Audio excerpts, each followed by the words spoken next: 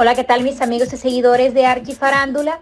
Les comento que Shakira se ubicó en el centro de cientos de noticias en los últimos meses, debido al giro total que dio su vida personal.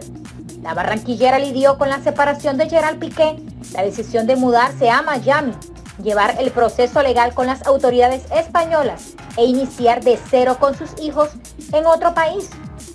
Recientemente el programa Chismes No Like fue el encargado de mencionar un sorpresivo suceso que golpeó a la cantante y la dejó sin palabras, teniendo en cuenta que esta movida vendría de su círculo cercano.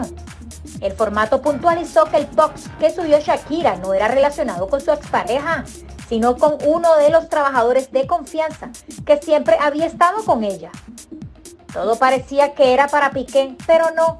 La verdad es que no porque hubo una de las traiciones más grandes que ha tenido Shakira en su vida. Nosotros, en exclusiva, conseguimos y agarramos en la puerta de la casa de Piqué al traidor de este mensaje que sacó Shakira. Sabe que fue traicionada, dijo uno de los presentadores. Según la información que salió a la luz, y que fue respaldada también por Despierta América, se trataría del chef personal de la colombiana, el cual siempre trabajó y recibió mucho apoyo de ella. Este joven habría dejado de laborar en la casa de la barranquillera, dándole la inesperada sorpresa tiempo después. Estamos hablando de su chef personal, Javier, en incógnito.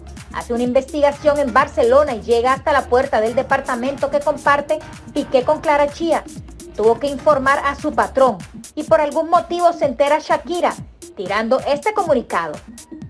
Según informó el presentador Javier Seriani, esta investigación llevó a descubrir que el cocinero se alejó de Shakira para irse a trabajar con Piqué y su actual pareja, Clara Chía, lo que causó furor y desató la conclusión relacionada con una traición.